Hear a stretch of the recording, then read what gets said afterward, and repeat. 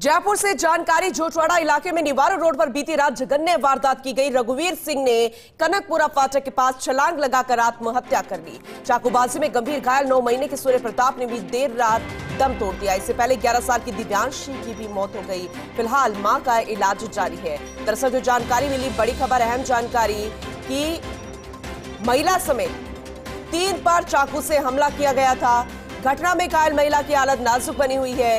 SMS trauma centre में घायल का इलाज चल रहा है। देवर ने कल शाम महिला और दो तो बच्चों पर चाकू से वार कर दिया था। दोनों ही बच्चों की एसएमएस ट्रोमा सेंटर में मौत हो गई। तेरह वर्षीय बच्चे ने इमरजेंसी में उपचार के दौरान दम तोड़ दिया, जबकि एक साल के बच्चे की सर्जरी के दौरान मौत हो गई। बेहद जघन्य अपराध, लेकिन ये जानकारी मिली कि जिसने चाकूबाजी की घटना को अंजाम दिया था, उसने खुद आत्महत्या कर ली। कनकपुरा फाटक के पास छलांग लगाकर उसने आत्महत्या कर ली है। झकझोर देने वाला ये मामला सामने आया ऐसे में वजह जानना बेहद ज़रूरी। कि आखिर क्या वजह रही होगी? घर के ही परिवार के सदस्य ने, क्योंकि देवर ने अपनी भाभी पर हमला किया, कहते हैं कि भाभी देवर के लिए माँ समान होती है।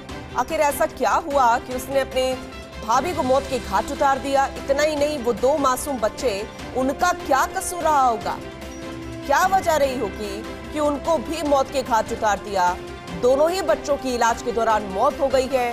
बेहद दुखद घटना जिसने भी सुना, जिसने भी जाना और आसपास के लोग अभी भी डरे, सहमे, विचलित इस बात से कि आखिर क्या वजह रही होगी कि इतना दुखद और जघन्य अपराध एक व्यक्ति ने किया, वो भी परिवार के बच्चों के साथ। माँ समान भाभी को मौत के घाट उतार दिया। वो दो मासूम बच्चे जो अपने ही बच्चों के समान होते हैं, आखिर उनकी क्या गलती? वजह जानने बेहद ज़रूरी, क्या मानसिक स्थिति होगी लेकिन ऐसे में जानकारी मिली कि जिसने इस घटना को अंजाम दिया, उसने खुद भी आत्महत्या कर ली है। तो वजह सारी पीछे रह गई। हालाँकि पुलिस की कोशिश इस बात को लेकर कि फिर भी वजह जानने की कोशिश की जाए घर के अन्य सदस्यों से।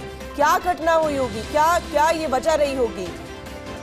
घर में मातम छाया हुआ है। हालाँकि जो महिला है, अभी भी उसका इलाज जारी है। स्थिति अभी भी गंभीर बनी हुई है। बेहद दुखद घटना, जघन्य अपराध। शर्मसार कर देने वाली, रिश्तों को तार तार कर देने वाली घटना की आखिर क्या ऐसा कारण रहा होगा? क्या नाराज़गी, क्या लड़ाई जान ही ले ली गई? बेहद दुखद घटना ये सामने आई।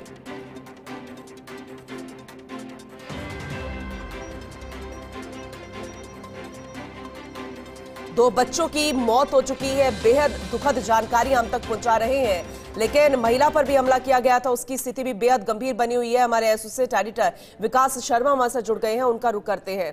विकास जी, वाकई में बेहद दुखद घटना है। दो बच्चों की मौत हो गई है जिनकी कोई गलती नहीं थी। महिला भी गंभीर स्थिति में, उनकी हालत अभी कैसी है, कुछ पता चल पाएगा? देखिए, बिल्कुल निवारो रोड की जो घटना थी, कल देर रात को तीनों घायलों को जो कि चाकू के हमले के से इन तीनों को एसएमएस के ट्रोमा सेंटर लाया गया था। ट्रोमा सेंटर के अंदर इलाज के दौरान जब इमरजेंसी के अंदर लाया गया तभी काफ़ी गंभीर थी। इस दौरान इमरजेंसी के अंदर इलाज के दौरान ही जो तेरह साल की बच्ची उसकी मौत हो गई थी क्योंकि काफ़ी गंभीर हालत में लेके आए थे। आधा करीबन आप समझ लीजिए अस्सी फ़ीसदी गला जो है कटा हुआ था बच्ची का और डॉक्टरों ने भरसक प्रयास किया लेकिन बच्ची को बचाया नहीं जा सका। जबकि जो एक साल का बच्चा था उसको तत्काल प्रभाव से ओटी में लिया गया उसकी सर्जरी शुरू कर दी गई थी। सर्जरी के दौरान भी दो बार बच्चे को सीपीआर करना पड़ा और रिवाइव करना पड़ा। लेकिन जब तक सर्जरी पूरी होती तब तक बच्चे का दम टूट चुका था। यानी कि दोनों बच्चों की कल 12 बजे तक निधन हो चुका था। उसके अलावा महिला की बात करें तो महिला कटा हुआ है और महिला का गला कटने के साथ ही उसका जो गले के अंदर जो नस पड़ी है वो भी कट गई है।